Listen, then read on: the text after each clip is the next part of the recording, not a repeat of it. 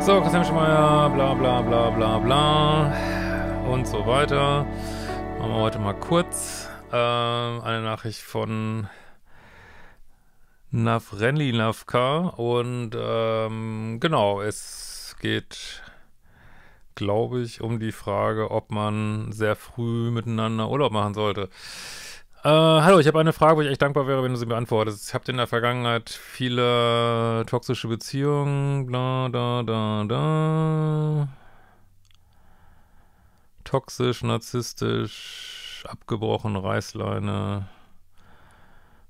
Nochmals verstärkt an mir gearbeitet, alle Kontakte zu toxischen Personen beendet, Kurs gemacht, Videos, Bücher, Spotify, YouTube und so weiter und so weiter. Versuche täglich Selbstliebe zu praktizieren. Nun zur eigentlichen Frage. Vor mehreren Jahren lernte ich auf dem Festival eine Person kennen. Kann ich ja schon aufhören, ähm, falls es jetzt kommt, ich habe glaube ich nur eben kurz reingeguckt, datet keine Leute aus eurer Vergangenheit. Wenn ihr euch verändert und in der Vergangenheit immer ein Thema hattet mit toxischen Beziehungen, wie wahrscheinlich ist das wohl, dass jemand den in der Vergangenheit gut fand, dass das jetzt gut ausgeht? Also, meine, manchmal geht es vielleicht gut aus, aber habe ich, kann mich jetzt nicht erinnern, davon schon mal gelesen zu haben. Ähm, man lernt lieber neue Leute kennen. So.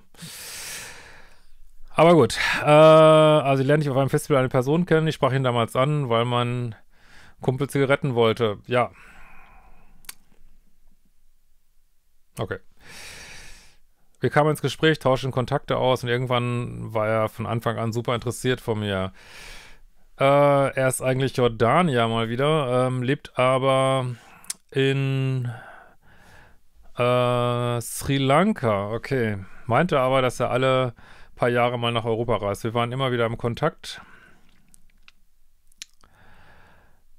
Ähm, also das ist schon wieder alles so konfus. Also ich, Leute, macht's euch nicht so schwer. Macht's euch nicht so schwer. Einfach jemand daten. Wie sagen die immer im Englischen? Uh, ready, able, willing, sozusagen. Also eine Beziehung muss technisch gehen, Bereitschaft muss dazu da sein, Timing muss stimmen. Warum jetzt unbedingt jemand, der in Sri Lanka, in Peru, in Jordanien und was soll das bringen?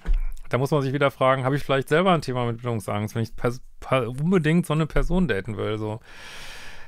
Äh, wir waren immer wieder im Kontakt, bis ich aufgrund meiner Bindungsangst, ich wusste nämlich, dass er wieder nach Europa reisen wollte, den Kontakt löscht. Ja, sind wir ja schon, ne? Da sind wir schon wieder auf dem Weg. Vor kurzem fügte ich ihn erneut dazu, wir kamen ins Gespräch und zu Beginn meinte er, dass er nun fest zurück nach Europa ziehen wird. Zu den ersten Nachrichten meinte er, dass er bald hier herumreisen wird. Ja, das hört sich so richtig an nach sicherer Beziehung. ähm, da muss man auch mal in sich gehen, ne? Könnt ihr auch machen mit diesem neuen Kurs Passive Bindungsangst. Will ich überhaupt eine Beziehung? Vielleicht will man ja gar keine, ne? Und denkt das immer nur, ne?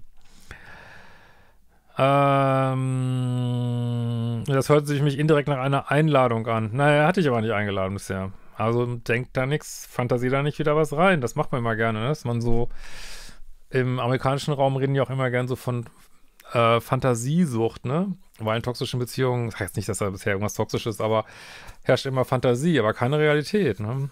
Kann man sich wieder so Fantasien ausmalen, wie man gemeinsam die Welt bereist und äh, einen Instagram-Kanal aufbaut und davon lebt.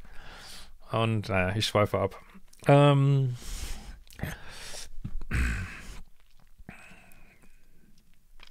Ich ignorierte es immer wieder, auch seine Frage, ob wir nicht zusammen wieder auf ein Konzert gehen wollen. Ignorierte ihn mehr oder weniger. Auch das äh, ist auch nicht so schön für ihn, ne? Also entweder du datest ihn oder du sagst ihm, sorry, ich habe kein Interesse, aber jetzt bist du auch so ein bisschen, die so ein bisschen hängen lässt, so, ne? Hm.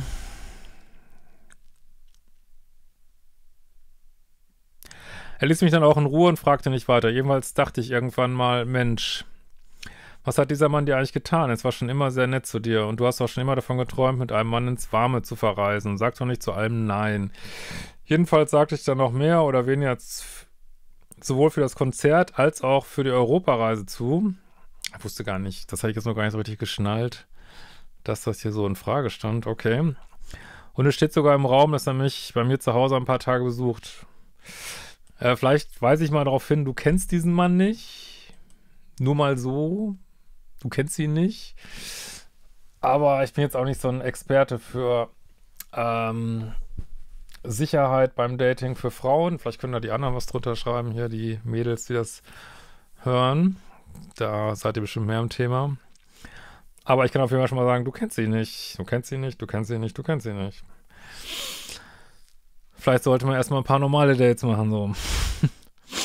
Gut, Konzert wieder schon dazugehören, auf jeden Fall. Äh, unser Kontakt fühlt sich bisher gar nicht toxisch an. Das ist ja meistens so, wenn man sich gerade kennenlernt. Sonst wäre es ja einfach.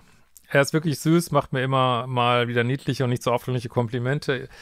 Ihr habt bisher kein richtiges Date gehabt. Ich meine, immerhin hast du ihn offline kennengelernt, das lasse ich gelten.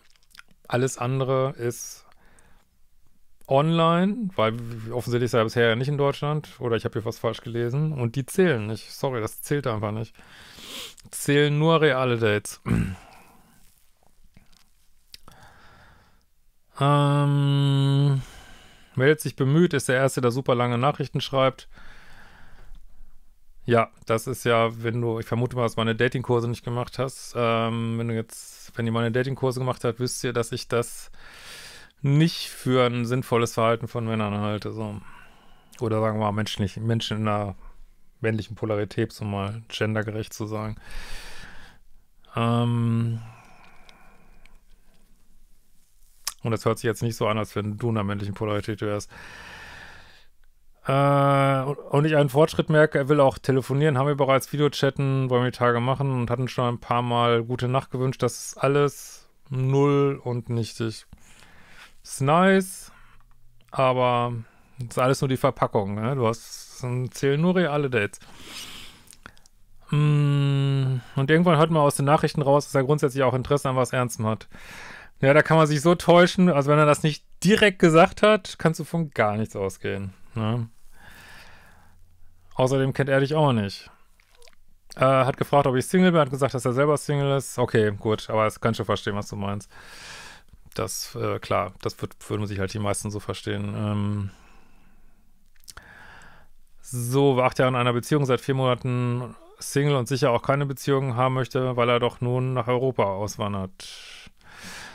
Das Land, das wir in Europa verreisen möchten, ist übrigens seine ursprüngliche Heimat. Jetzt kommt noch ein Land dazu, okay. Das bedeutet mir irgendwie auch total viel. Nur meine Frage an dich, ist es okay mit jemandem, den man erstmal auf einem Festival gesehen hat, solche Reisepläne zu machen? Du, das ist ein absoluter, völlig durchgeknallter Abenteuerspielplatz hier und du kannst ihn natürlich nutzen als völlig durchgeknallten Abenteuerspielzeug, Abenteuerspielplatz. Also kann ich, was soll ich dazu sagen? Also es haben schon viele Menschen gemacht. Ich habe sowas auch schon gemacht. Ähm, meine Erfahrung damit ist, dass sowas eigentlich eher nicht gut geht. Also nicht, dass da irgendwas Tolles passiert, sondern dass man einfach feststellt, oh, es ist doch alles total nervig und dann hängt man zusammen auf einem Ein-Sterne-Campingplatz irgendwie in Südportugal. Oh, schönen Dank, hätte ich keinen Bock drauf. Aber ich würde, also ich würde dir raten, jemand erstmal ganz regular zu daten, drei Monate so. Und dann kann man immer noch verreisen. Und sicherlich ist Verreisen in einer frühen Kennenlernphase eine geile Sache, ne? Wenn es läuft, ist bestimmt total cool. Aber da sollte man sich auch erstmal kennenlernen. Das hört sich auch schon wieder so an nach viel Fantasietätigkeit, so, ne? Und die ist halt immer problematisch. Und dazu, aber da könnt ihr gerne, ihr Frauen, mal kommentieren, gibt es natürlich auch so Sicherheitsaspekte, sag ich mal. Die sollte man vielleicht auch mal bedenken. Du kennst den nicht. Ich würde es, glaube ich, nicht machen. Aber it's up to you. Ist dein Leben, ne? Äh, ich habe Angst, dass ich mir wieder zu viel Hoffnung mache. Ja, das höre ich raus, aber mein Gott, ich meine, jemanden kennenlernen ist natürlich, ich bin da immer ein bisschen streng, ist natürlich immer mit ein bisschen Fantasie und Projektion verbunden. Das, das ist auch okay so, ne? Aber es ist halt Risiko. Das ist jetzt die Frage, wie viel Risiko willst du jetzt Staatsanleihen kaufen oder irgendeinen, weiß ich nicht, einen sri lankenischen Bitcoin oder so. Ja, ne? Ist auch ein Stück deine Entscheidung, was du mit deinem Leben machst, ne? Aber kannst ja mal in die Kommentare gucken. Und er dann nach dem Sommer einfach Tschüss sagt, aber wir haben ja nicht nur einen Plan, sondern sogar drei. Ja, es zählt aber alles nicht, weil ich euch noch nicht kennengelernt habt. Ist es Fast Forwarding? Ja, ist Fast Forwarding. Aber Fast Forwarding ist natürlich jetzt auch nicht so der härteste Faktor, aber ist es. Oder kann man das in diesem Fall nicht sagen? Erscheint mit der Beziehung, ja, also Fast Forwarding heißt ja nicht, dass man das bewusst jemanden ähm, hinters Licht führen will. Das ist hier sicherlich nicht der Fall. Er scheint mit der Beziehung echt abgeschlossen zu haben, ist nun zum ersten Mal irgendwie emotional zugänglich. Ich habe halt nur Angst, dass wir beide in eine Fantasiewelt abdriften. Ja, also du hast, denke ich, die gleichen Sachen schon auf dem Schirm, die ich jetzt auch angesprochen habe. Äh, und dann die Enttäuschung kommt. Außerdem ist er auch zu der Zeit, wo er noch in einer Beziehung war, Kontakt zu mir gesucht. Ah! Das habe ich noch gar nicht gelesen. Nein, nein, nein, nein, nein, nein, nein, nein, nein, nein, nein, nein, nicht wieder ein Dreieck. Ah, ich drehe durch. Ah. Und wollte sie sogar damals mit mir treffen. Okay, ich nehme alles zurück, ich würde ihn nicht treffen. Das habe ich beim ersten Durchgucken gar nicht gesehen. Aber ansonsten stimmt, das passt natürlich alles, was ich gesagt habe. Aber viel Spaß damit, ey. Ja. Dann weißt du ja schon, wie es mit euch auseinandergehen wird. Just saying. Aber ich bin auch, also ich bin einfach von diesen ganzen Mails, die ich kriege und was ich auch, ich auch persönlich erlebt habe, ich kann die Welt nicht mehr ernst nehmen. Also mich dürft ihr auch nicht fragen bei sowas. Ich habe da, ich sag da nicht, ach, das geht schon gut und er ist jetzt anders und er schreibt sich bestimmt, während ihr zusammen seid, schreibt er sich bestimmt nicht mit einer anderen Frau und will sie treffen. Ich glaube sowas nicht mehr. Sorry, ich glaube es nicht mehr.